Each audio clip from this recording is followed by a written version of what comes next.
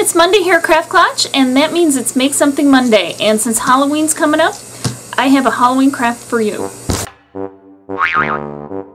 Now I have these gourds from last year that are all dried out, and I let them dry out, and then I bleached them and scrubbed them a little bit, and now they're all clean and ready to go. So this is what I'm going to be making my craft out of, and what we're going to be doing is aliens, little alien gourds.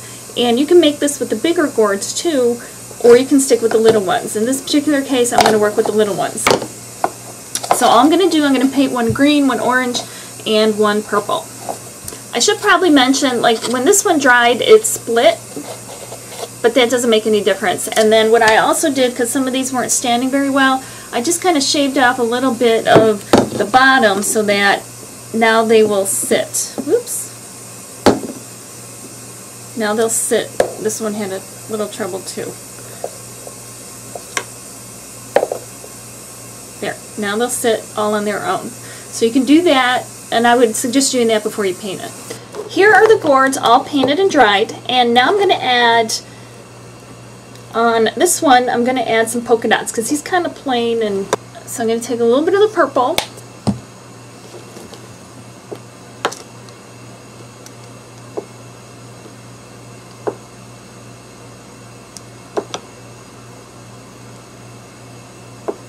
and I'll just kind of randomly make these polka dots with the end of my paintbrush. Alright, so I have them on there and then I'm going to do a tighter bunch of them just around the neck. So then I'll just set him aside to dry. And then what I'm going to do is take the green and do little polka dots inside of the polka dots and I'll just do that with my skewer stick. This one I'm just going to do little squiggles and I'm using a skewer stick instead of a paintbrush, kind of using it as like a pen. So I'm just going to put a couple markings or a bunch of markings like on his belly area. And the green one I'll leave plain because he's kind of warty. Okay, so you'll see that. Now the next thing that I did was I took some craft foam and all I did was on a big sheet of craft foam and I only had white. So I decided I would go with the white and I would take and paint them. And I will keep with the, the same three colors that I've been working with. But I just cut out some very basic shapes like for hands. I got a variety of hands and feet. And they're just very, very basic shapes. And now I'm just going to paint them. And again, I'm going to stay with the same colors that I used before. Okay, my little hands and feet are dry, but before I do that, I want to take care of this guy.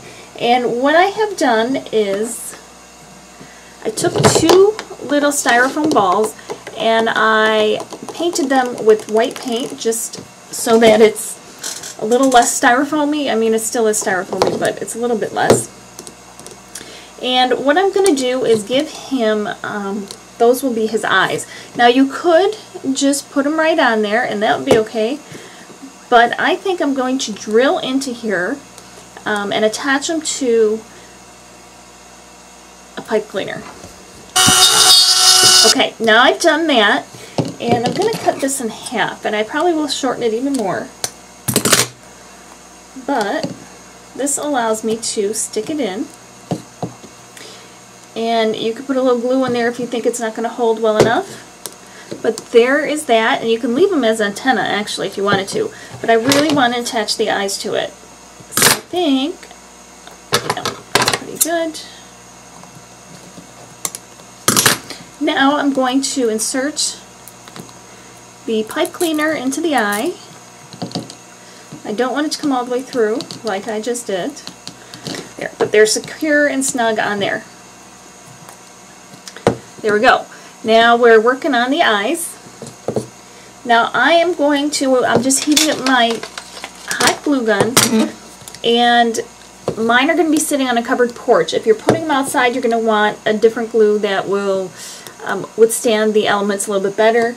And if you're putting them outside, you'll also want to put some kind of a protective coating on there. Mine are going to be, again, in a covered porch, so I'm not going to do that. Starting with this guy, we are going to attach the eyes.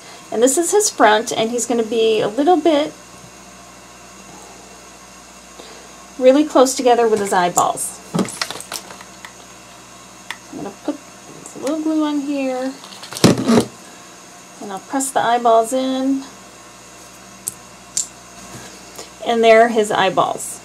And this guy, I have these orange eyeballs, which happen to match the orange. So I'm going to put a little bit of glue on there. Same thing over here. And now his eyeballs are in place too. And then we have this guy, and we're going to go with little eyeballs for him or her. And these we're going to space out on the sides for a different look. These are whatever your interpretation is of aliens. So here now we have this one.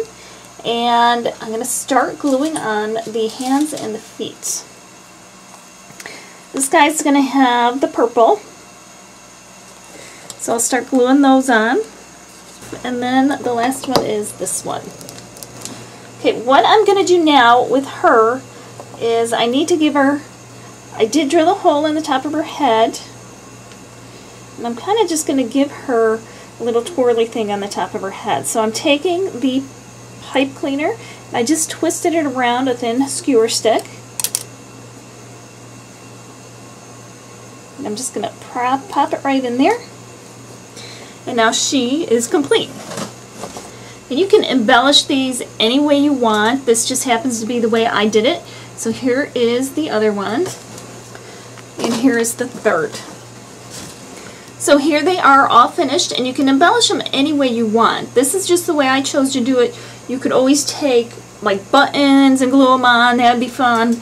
Um, any way you want. So I hope you like it. It's a little bit of an alternative for Halloween. Um, hope you give it a try. Remember to rate, comment, and subscribe. And in the comments below, I'd like to know which one is your favorite. If you like um, this guy, with the eyes, the green one, the purple one with the eyes really close together, or the orange one with the little curly Q on top. So we will see you next time, guys. Thanks again for watching, and happy Halloween! Matter.